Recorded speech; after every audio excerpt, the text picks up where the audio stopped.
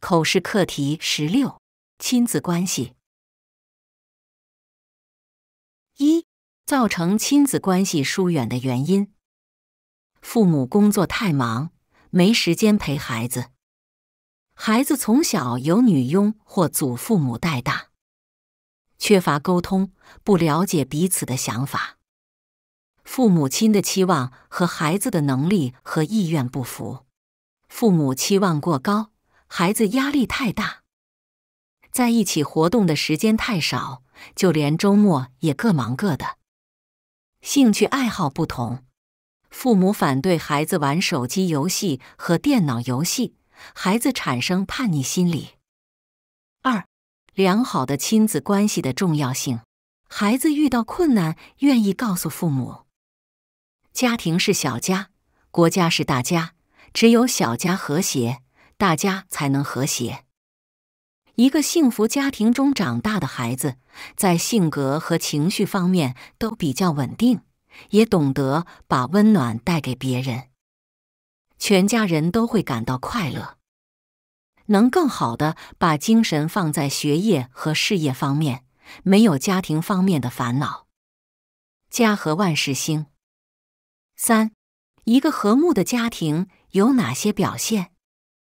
全家一起用餐，吃饭的时候有说有笑，能包容彼此的缺点，孝敬老人，爱护孩子，支持家人，互相关心。发生矛盾时懂得退让，能冷静处理和家人之间的问题。四、如何建立好的亲子关系？父母花时间陪孩子。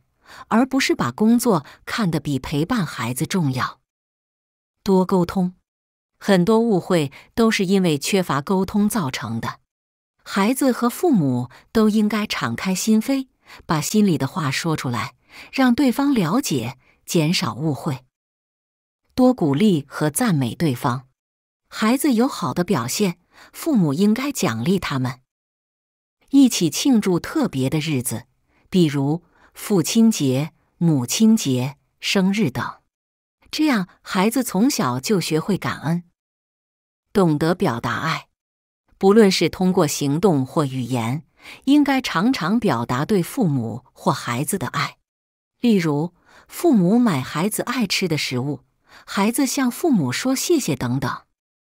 五，哪些活动能促进亲子关系？父母每天腾出时间和孩子交流，分享当天发生的事，一起用餐。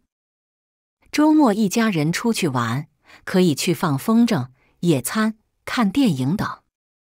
一起做运动，一起玩电脑游戏和手机游戏。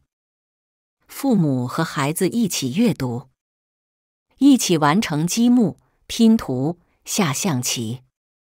孩子和父母一起做家务，学校假期的时候一起去旅行，参加家庭日的活动。六、其他参考问题：一、你和父母的关系如何？